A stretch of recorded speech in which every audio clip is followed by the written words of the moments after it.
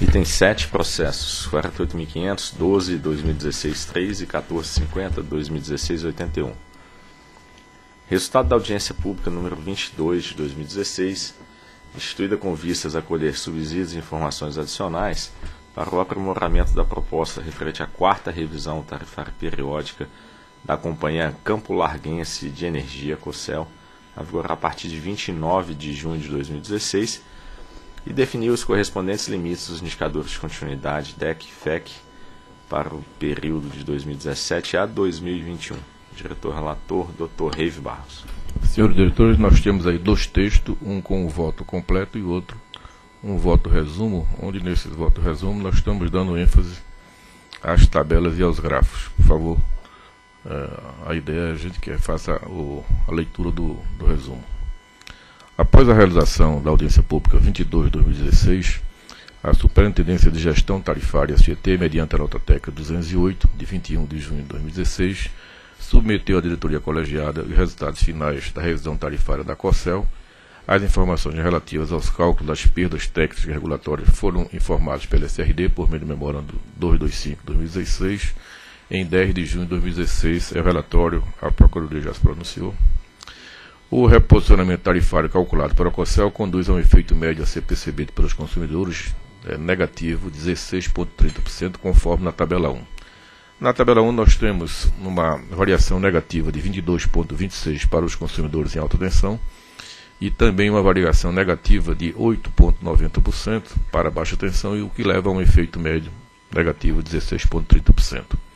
Esse efeito tarifário médio a ser percebido pelos consumidores representa a conjugação dos seguintes movimentos tarifários: 16,30 negativo, que corresponde a menos 15,52, atualização da parcela A e B, e mais 1,12% em relação aos componentes financeiros e menos 1,91% com referente à retirada dos financeiros do ano anterior. E no gráfico 1 e, e a tabela 2 detalham os itens dos custos e as suas variações.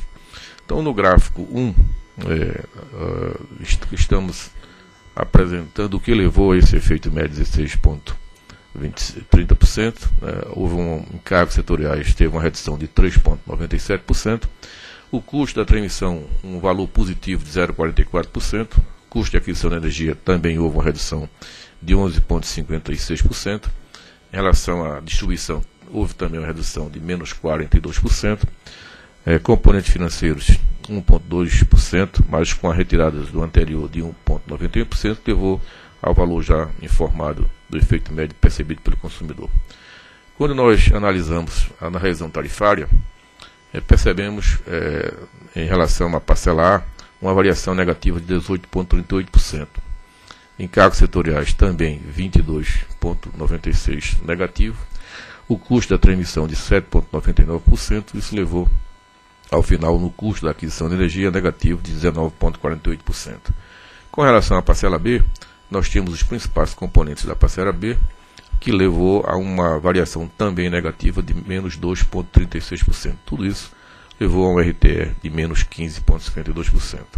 Ao considerar os componentes financeiros, tanto no processo atual, a entrada e a retirada do ano anterior, e chegou finalmente ao valor de 16,30% negativo.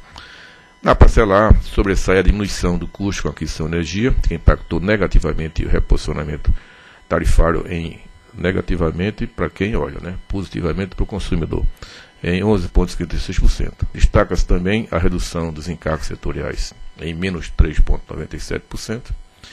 E com relação às perdas na distribuição, é, conforme regra vigente, foi definido um percentual de perdas não técnicas sobre o mercado de baixa tensão faturado de 1,30% do ponto de partida, sem trajetória de redução.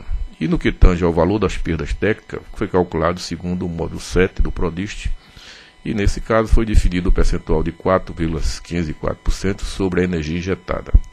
A parcela B teve um crescimento de 30,5%, isso em decorrência da atualização dessa parcela de custos e reajustes pelo GPM descontado do fator X e do crescimento acumulado do mercado desde a última revisão. Como a cobertura dos custos operacionais presentes nas tarifas é maior do que o intervalo superior definido pelo método de comparação entre distribuidoras, foi estabelecida uma trajetória de diminuição desses custos, ao longo do ciclo para que, ao final, os custos operacionais regulatórios alcancem o limite superior do intervalo. E o resultado final da análise foi um custo operacional considerado na revisão inferior ao atualmente existente na tarifa, contribuindo para uma redução tarifária de menos 34 pontos percentuais.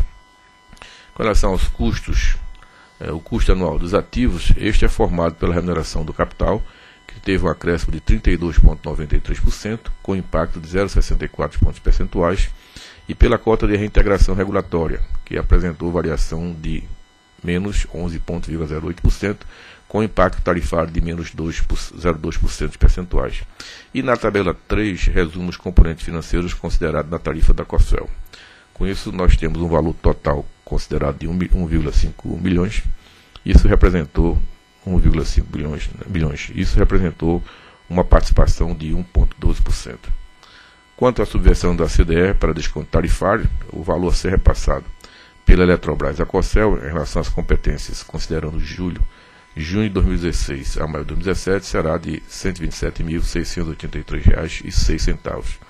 Esse valor já inclui o ajuste da diferença entre os valores previstos e realizados entre junho de 2015 e maio de 2016. O fator X, a ser considerado nos próximos reajustes da COCEL, até a próxima revisão tarifária será de 2,42%, que deverá ser somado ao componente Q, definido em cada processo de reajuste. E na tabela 4, nós temos uma variação ocorrida com a proposta colocada em audiência e que nós estamos submetendo agora. Nessa é, a diferença entre o que foi colocado na audiência em relação a parcelar de 13,43% e o que nós estamos é, submetendo para sua avaliação final no valor de menos 15%. De tal sorte que, se nós considerarmos a, a última linha, que seria o efeito em média a ser percebido ao, pelos consumidores, quando nós levamos à audiência pública, esse valor correspondia a 13,42% negativo e agora a proposta é 16,3% negativo. Isso é uma variação entre o que se levou para a audiência pública e agora na ordem de menos 2,88%. Os itens mais representativos que levaram à alteração dos valores submetidos à audiência pública foram, primeiro, a CDE, isso foi, é, inclusive nós observamos no item anterior, que contribuiu para uma variação negativa de menos 61%.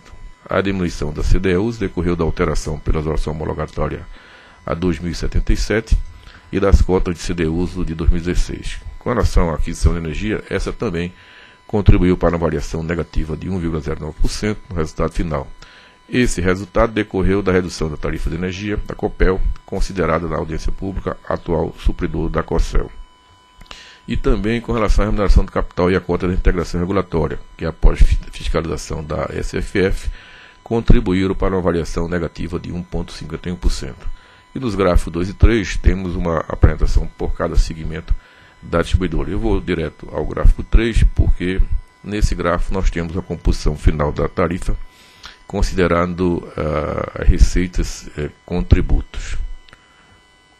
No gráfico de contributos, exatamente. Então, contributos nós temos o custo da energia, que corresponde a 35,9%, da transmissão 4,6%, encargos 11,9%, é, o custo da distribuição 13,7% e tributos, aí entendendo-se por ICMS mais PIS-COFINS, isso correspondeu a 33,9%.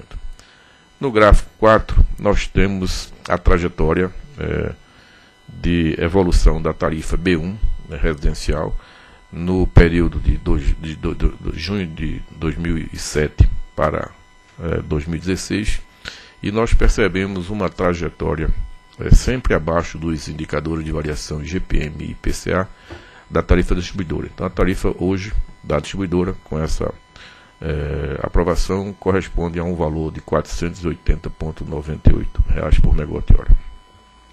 Sobre o cálculo dos limites para os indicadores de qualidade dos conjuntos das concessionárias, os gráficos 5 e 6 é, são apresentados os históricos limites globais, DEC e FEC para a COCEL, em relação aos limites globais propostos para o próximo ciclo, que seria o período de 2017 a 2021. Então, nós percebemos que com relação ao, ao DEC, né, o comportamento, o desempenho, a performance da, da distribuidora está é, muito próximo dos valores regulatórios definidos, portanto, ela vem cumprindo o estabelecido no regulamento.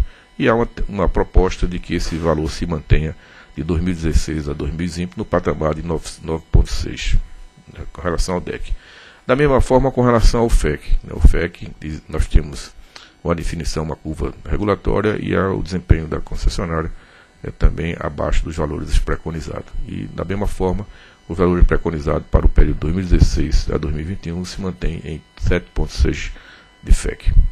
Quando nós fazemos uma avaliação do comportamento da, da, da, da distribuidora né, em relação às empresas equivalentes da região sul, nós também percebemos um desempenho é, satisfatório quando se compara com as distribuidoras com as mesmas características, ou seja, de pequeno porte da região sul. Isso com relação ao DEC, isso também com relação ao FEC. No que diz respeito à violação dos limites indicadores, a tabela 5 apresenta as compensações efetuadas pela Concel no período de 2012 a 2015. E nesse caso, nós percebemos é, uma redução do número de compensações quando comparamos 2015 com 2012. Em 2015 nós tivemos 51.644 compensações, isso levou a uma compensação de 280.661 reais. Quando comparado com 2015, percebe-se uma redução, 40.623, isso levou também uma redução da compensação, o que mostra que a, a performance, o desempenho, o comportamento da distribuidora tem sido é, dentro dos valores contratados do ponto de vista regulatório. Diante do exposto, pelo que consta no processo 48.500.0012-2016, dígito 3, e o 1450-2016, dígito 81, voto pela aprovação dos resultados detalhados na forma das resoluções anexa, a fim de homologar o resultado da quarta revisão tarifária periódica da COCEL, a vigorar a partir de 29 de junho de 2016, que conduz ao efeito médio a ser percebido pelos consumidores de menos 16,30% sendo menos de 22,26% para os consumidores em alta tensão e menos 8,90% para os consumidores em baixa tensão. Fixar as tarifas de uso do sistema de distribuição, a TUSD e de energia TE, aplicáveis aos consumidores e aos usuários da COCEL, aprovar o valor mensal de recursos da CDE a ser repassado pela Eletrobras.